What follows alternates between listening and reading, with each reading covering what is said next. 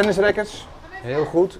Echt. Hey, kom binnen. hè. Binnen, Arjan. Eh. Kijk, dit, hier worden we echt blij van. Je hebt een fiets meegenomen. Ja, Gaaf. Dankjewel. En die, die mogen de kinderen hebben op eh Ja. Sjalo's. Ja. Dankjewel. Alsjeblieft. Echt top. Dat zijn dingen, daar word ik blij van. Echt lief. De inzamelactie voor de uitgebrande speelgoedopslag in Rotterdam-Charloes kan rekenen op veel steun uit de regio.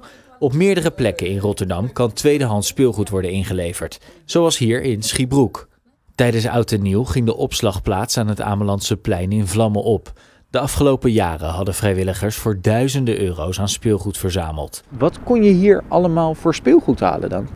Eh, fietsen, eh, ja, steppen, skateboarden, dat soort dingen. Sinds een oproep afgelopen week bij RTV Rijnmond om speelgoed in te zamelen, staat de telefoon roodgloeiend.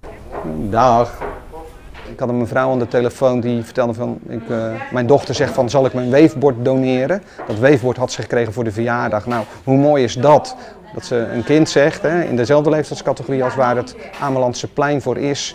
eh, dat ze zegt van, joh mama, zal ik dit dan eh, geven? En ook op het inleverpunt aan de Slingen op Zuid is inmiddels aardig wat binnen.